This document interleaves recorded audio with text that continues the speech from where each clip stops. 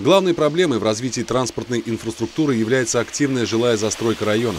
При этом сами застройщики в последнюю очередь думают о том, как люди будут добираться, например, до метро. В ноябре в микрорайонах Восточная Бутово, Бутово парк 2 и 2Б произошел транспортный коллапс. Из-за изменения законодательства местные перевозчики фактически оказались вне закона. Тогда, благодаря оперативному вмешательству руководства муниципалитета, удалось найти временное решение проблемы. Сейчас жизнь микрорайонов вернулась в привычное русло.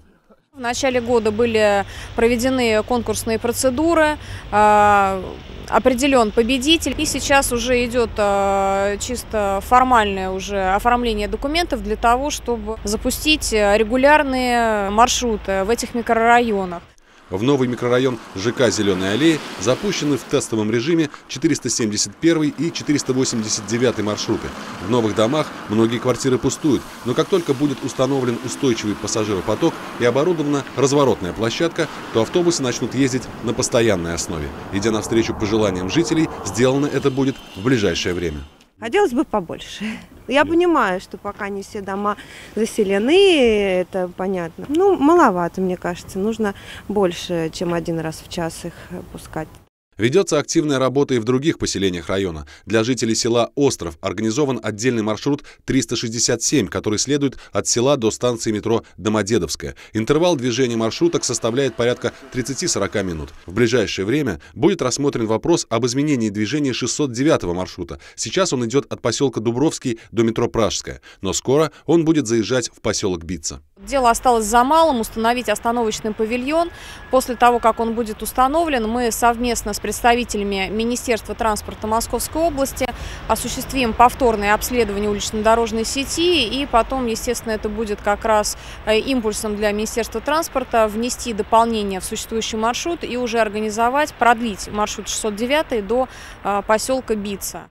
Таким образом, Ленинский район вносит свою лепту в работу по организации общественного транспорта всей Московской области. В своем ежегодном послании губернатор Подмосковья Андрей Воробьев отметил необходимость постоянного развития пассажирских перевозок. Для нас принципиально важно, чтобы любые поездки наших жителей на общественном транспорте были комфортными и доступными. За четыре года мы выпустили на маршруты две с половиной тысячи новых автобусов. Для удобства граждан корректируются и уже существующие маршруты. В январе была существенно изменена схема движения маршрута номер 8, который ходит от рынка Красный Камень. По просьбе жителей района теперь организован отъезд в том числе от улицы Завидная, дом 24.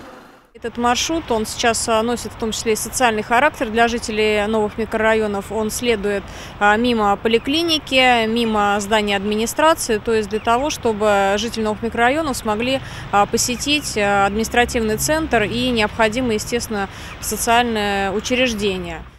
Для удобства жителей идет планомерная работа по усовершенствованию дорожной сети. В частности, с 20 февраля планируется изменение маршрутов пассажирского транспорта в районе остановочного пункта Завидная 24. Скоро в этом месте пассажиры будут только высаживаться. Весь отстой пассажирского транспорта будет осуществляться на специализированной стоянке вблизи села Ермолино. Внимание автовладельцев! В районе этой площадки будет устроена новая организация дорожного движения – круговая развязка с выездом в сторону деревни Калиновка. Максим Козлов, Алексей Руднев, Анастасия Нурконова, Видное ТВ.